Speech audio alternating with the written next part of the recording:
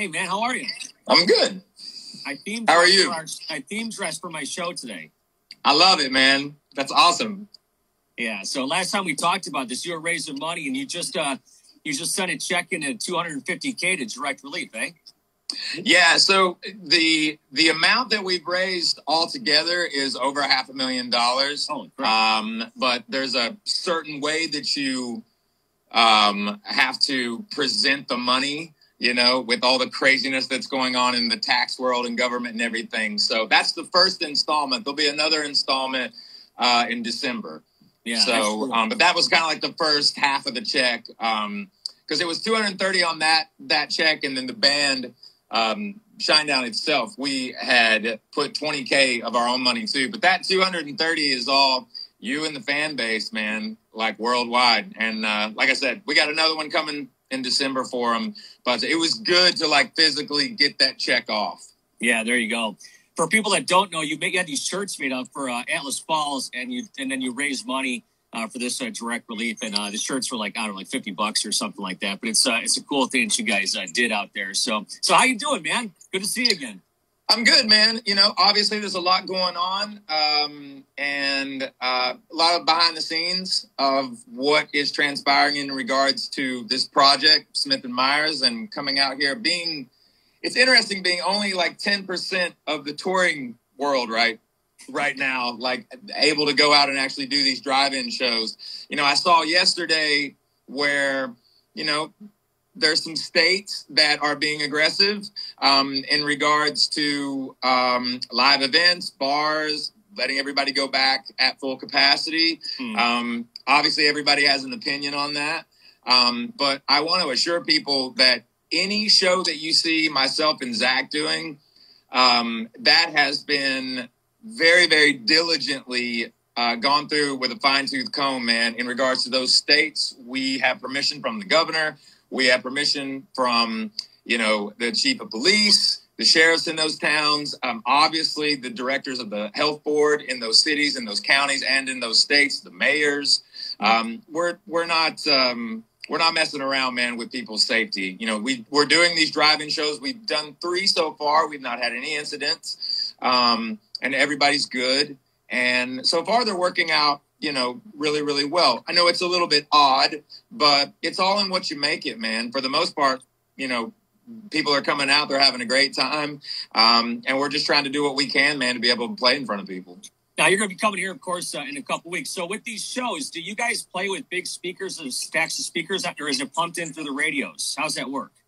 It's actually kind of both. Um, the very first one that we did was in Philadelphia. That was all you tuned your radio uh, to a certain dial that they gave you, um, and it was an HD feed, uh, so there was no PA. Um, we were the first show in Philly where they actually allowed them to get out of their cars, though, kind of like in their area. Yeah, yeah. Um, and the last two shows that we did, Butler, 20 minutes outside of uh, Pittsburgh, um, and then Scranton, uh, those were with PAs. Um, actually, the show in Butler was quite a massive PA. So, uh, but you could also tune the radio um, if you want to stay in your car because it was also about 41 degrees um, when we uh, when we played. so it was a little Well, chilly.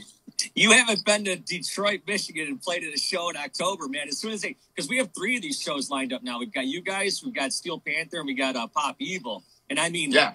it could be snowing when you're here. We don't know. It could be 80. We don't know. So To be totally honest with you, man, we're we're ready for anything. Yeah. Um. Uh. You know, once again, you have to adapt into these situations. Our um, our release party for Volume One is uh, coming up the 9th later this week, um, and that's in Chicago. And fingers crossed. Right now, it shows the time that we're on stage, um, 71 and clear. There so. I'm like, hey, I'll take it if that's for real. No, that's cool, man. So uh, let me ask you this. You've probably been asked this before, but where does like Shinedown end and Smith and Myers begin, or vice versa? How do you how do you how do you like uh, how do you keep them separate? Well, I think it's important for people to understand if you're really kind of diving into this project, meaning Smith and Myers, you'll see that it's not a band it's not a group, it's a duo. It literally is me and Zach. Um, if we wanted to go in and do an acoustic album as Shinedown, we would have gone in and done an acoustic album as Shinedown. That's not what Smith and Myers is. If that's what you're looking for, it's not that. Um, you know, obviously we live with the music and we know a lot more than the public does, um, but they're getting ready to know because both volumes are going to be released. Volume one's on, uh, I believe, the 9th uh, which is this Friday. Um, and then the second volume will be released on the 23rd yeah. of October, which is actually Eric's birthday. Um, but that's kind of the principal point. Why would we have gone in and, you know, done essentially an acoustic Shinedown style album and that just be me and Zach? These are different songs. These are being done in a different way. Um, I sing these songs differently. Um, I approach this project differently. Um, you know, I'm in Charleston right now. We're nine songs into the demoing process for Shinedown number seven, hmm. um, which, by the way, has got me really, really pumped because it's just really heavy and it's good. And, you know, we're really pushing the envelope here with the new Shinedown, um, making it actually less tracking and focusing more on the dynamic of instead of having layers of guitars, really focusing on like three tracks of guitars, centering it out, um, and really doing more as a band where it is more a little bit more compelled to drums, bass, guitar, uh, and vocals. Obviously, we use a lot of soundscapes and we don't limit ourselves to that but we're not stacking a lot so far on these demos we're really trying to put a lot of energy in these songs with less tracks and it's actually working out really well the, the material is really exciting actually yeah, it's interesting you say that. Some of the stuff I'm really drawn to right now, like the Dirty Honeys and the Gretas and the Rival Sons, that kind of stuff, it's like really stripped down kind of band stuff. And that's kind of what you're talking about, maybe with a couple layers added in there. Yeah. Also, you know, not looking at, uh, you know, for the tech people that might be watching this right now and, and what have you, we're not gridding anything either. Like we're not going in. I mean, we're making sure that Barry has a click so that, you know, we can make sure that the, uh, the metronome can kind of float, um, but that it kind of stays where it needs to. But we're not hard. We're not quantizing anything. We're not gridding it out, man. It has no vibe when you do that. It, it mm. sounds like a computer is playing it. There's there's no reason to do that, you know. Um, and and it's got a different feel to it, man. It's got a lot of push and pull, but in but in all the good ways of pushing and pulling when it comes to music. So you probably I don't know if you can answer this or not, but 2021 for a new Shinedown, you think, or what? Hundred percent. Yeah. Okay.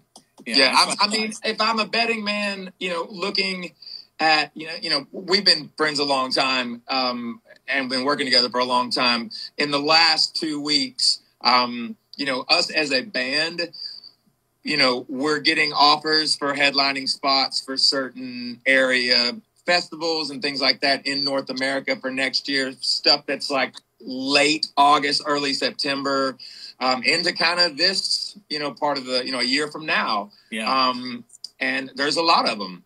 And to be totally honest with you, we're just not saying no to any of them. We're like everyone that comes through, we're just checking it off. Um, and I don't think that these organizers would be putting this at the forefront right now, you know, and knock on wood, but to, to have these shows be canceled. Right. You know what I mean? Like we're, we're trying to go a year out um, and really do everything in our power, man, to be able to do big shows by this time next year. Yeah, well, that'd be the that'd be awesome. Actually, you know, I mean, obviously, you guys played here last year, a big show, and uh, I love when you guys strip it down. You went up and you did uh, Simple Man and whatnot. I'm going to bring it up here in a second, but somebody just posted on here. That show was crazy, by the way. Just real yeah. quick, that show yeah. was insane. The amount of people that were at that show, just getting up there to the lawn of all the shows that we did where we were doing that, which on that tour we were that was I mean it was awesome, but my God, were there a lot of people?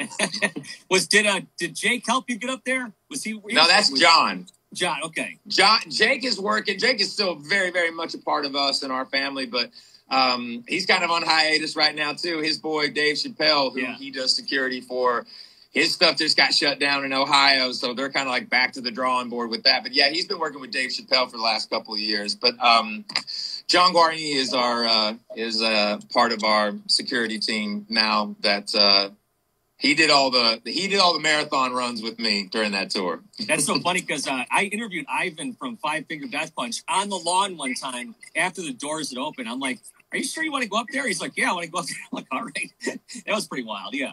So Hey, somebody did he hide himself? Like you wear a hat? I mean, he's kind of hard to not recognize. Oh, he walked up there waving everybody. I'll send you a picture later. But uh, hey, somebody has mentioned something, and since we're doing this, uh, this, we, we can see each other. I thought, I'm going to bring in some pictures. Okay, someone yeah. just said, "Hey, I miss your long hair." So this this this is one of the many pictures we have in my room in my house. Yeah, long hair guys. Yeah. yeah. That one was at uh, the uh, the racetrack with Three Doors Down. Oh yeah, totally. It's yeah. you know what, man. It's the last two days I've been doing interviews, uh, international interviews, and, and what have you. Must be something like in the air or what have you. Everyone has been talking about like when I had long hair. It's interesting how that kind of comes around.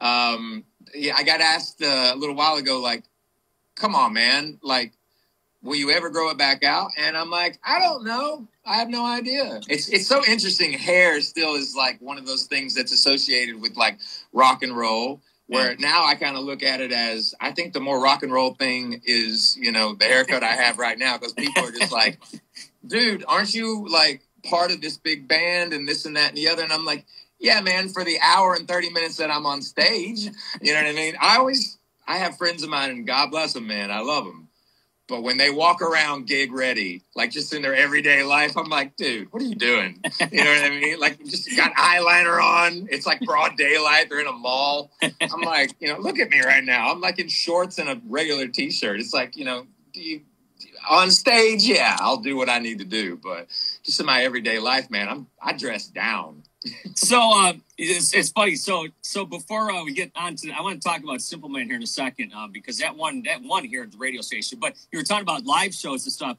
And one time in Las Vegas, I got the chance to do your your pre-show ritual. And I don't know if I've ever talked to, to you about this uh, on, on the air, but maybe uh, for the people that are watching right now, what what do you guys do for your pre-show ritual? So it's called doo doo, and yes, I know how that sounds. Uh, if you want to know how it's spelled, it's D O O dot dot dot D O O. So we have a um, the very first real LD lighting director that we had um, that like really knew what he was doing, and we carried production. Was a wonderful individual by the name of Scott Ali. He's still to this day a dear friend of the band, mine. Uh, just he's part of our family.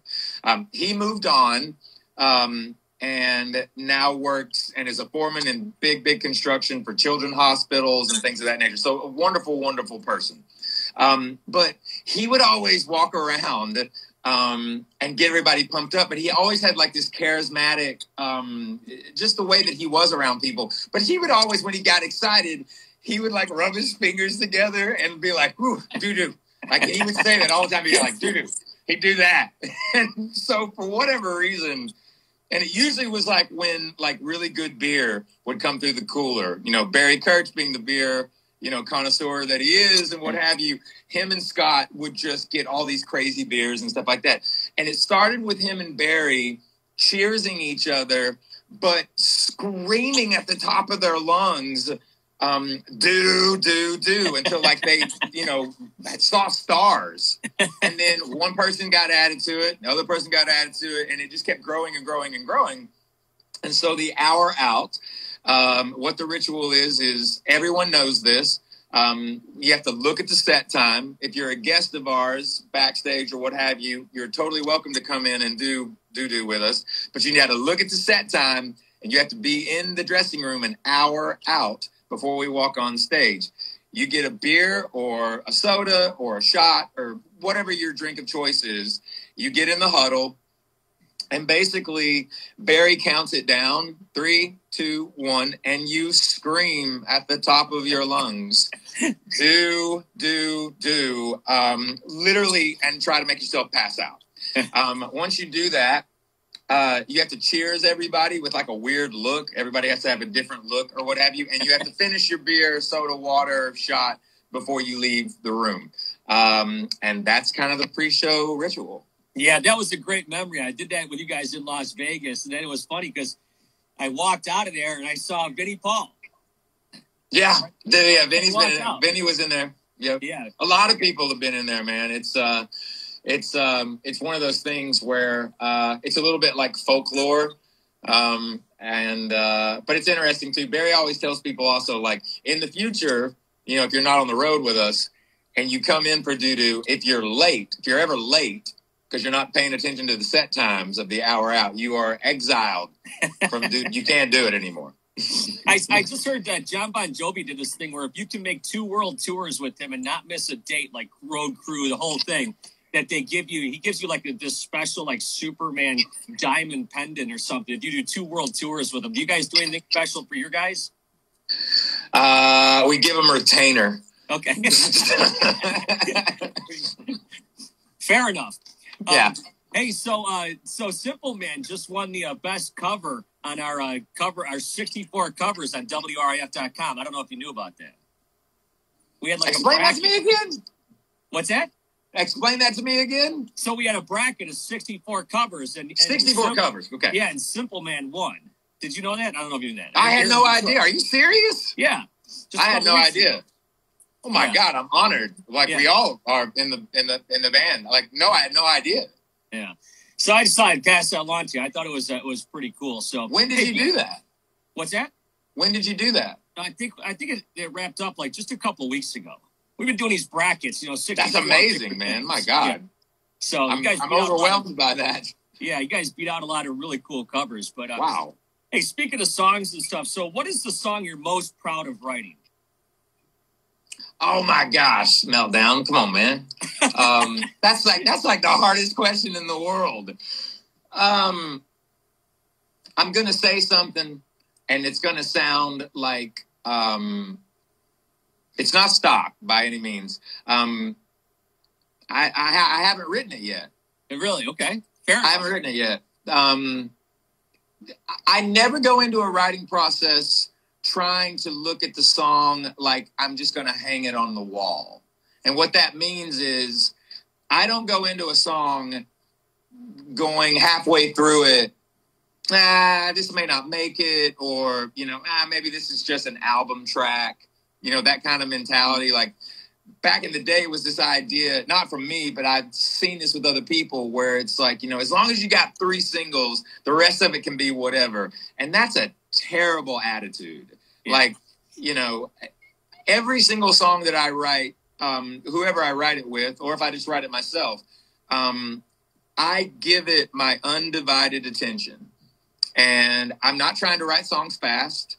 Um, I don't care about the quantity. I care about the quality. Um, I don't like to repeat myself. I try not to repeat myself.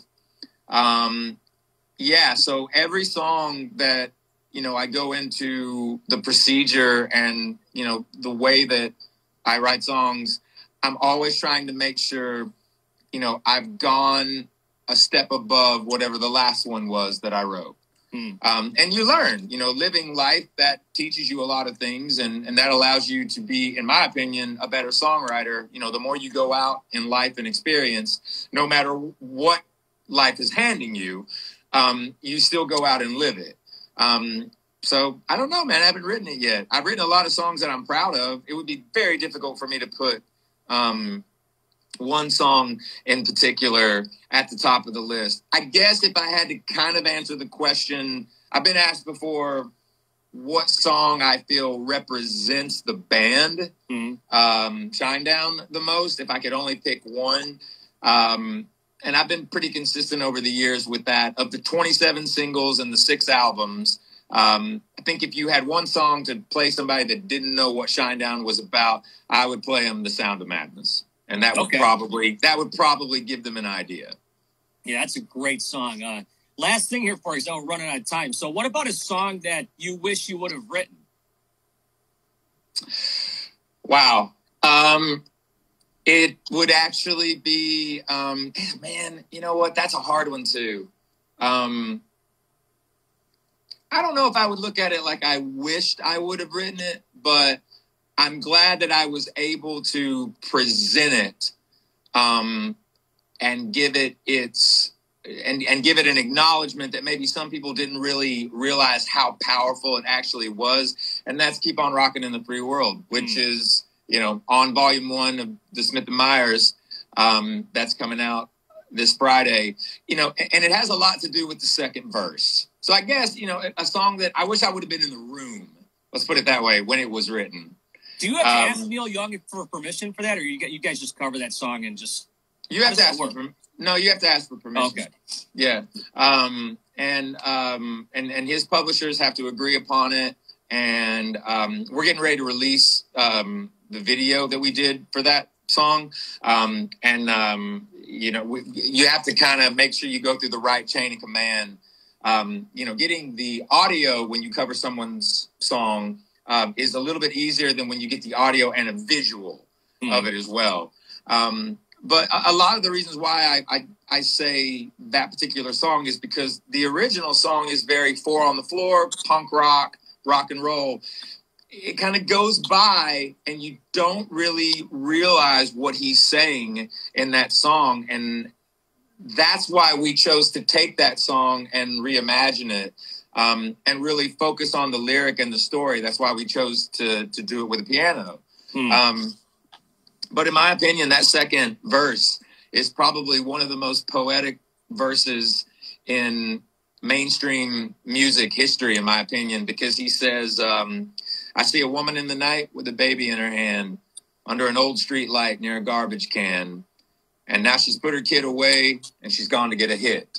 She hates her life and what she's done with it. And now there's one more kid that will never go to school, never get to fall in love, and never get to be cool. Mm. And even when I say it, I get emotional because that's just profound and it's heartbreaking and it's real. Um, and you know that was one of the elements of this project with Smith and Myers and, and me and Zach. Like we wanted to take songs if we were going to cover them where we could flip them on their head in a way, almost to the idea of like, what would we have done if we would have written them? Mm. Um, so a lot of the integrity of those covers, we wanted to really maintain why they're important. A lot of it had to do with the stories of those songs and um, and and what the message is. Well, I look forward to hearing both Volume One and Volume Two. Like you said, comes out uh, this Friday for Volume One and Volume Two on the twenty third of October. Then we'll see you right in the middle. Yep. Can't wait, man. Super in stoked. weeks. So, Brent, safe travels and stuff. Uh, we'll see you, like I said, in a couple of weeks. And uh, thanks so much for the time, as always. Absolutely. Love you, my friend. Take care of yourself. I'll see you soon. Right back at you, bro. Thanks, man. Later.